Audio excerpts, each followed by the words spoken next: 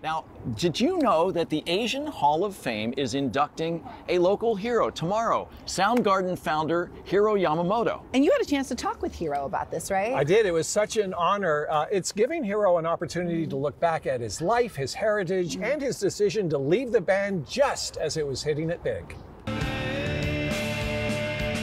That whole underground music scene and the art scene back then, it was burgeoning and it was it was exciting. For the first five years of Soundgarden, Hiro Yamamoto wrote songs, played bass, and every so often even sang lead. I was kind of a DIY punker. We did it for the people, you know, and uh, and I've always kind of had that ethos. When Soundgarden signed with a major label, it was only a matter of time before Hiro and his punk rock ethos would walk.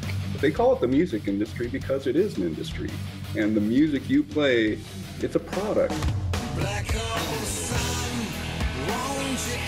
As Soundgarden rocketed to fame, Hiro went back to school to become a chemical engineer.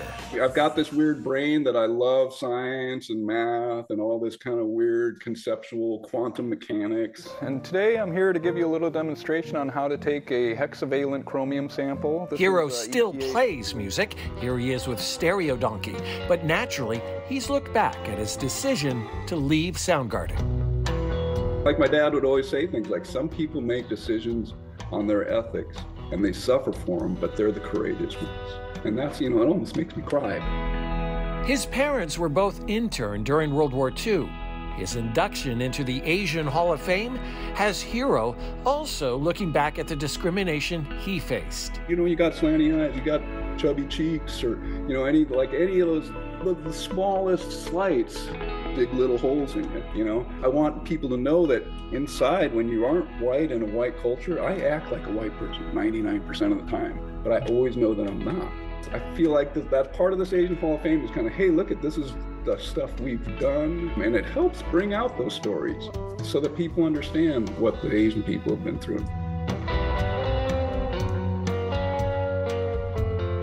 Wow, so many good stories just from that one interview. I know, he yeah. could write a book, absolutely. Hiro is one of six Northwest inductees into the Asian Hall of Fame. The ceremony is tomorrow night in Seattle. There's another one in Los Angeles. Uh, among recent inductees, Apollo Ono, Bruce Lee, and wow. Gary Locke. That's great. Great company. It's great. a cool organization, too. It is. Yeah, great company, great contributions. Yeah.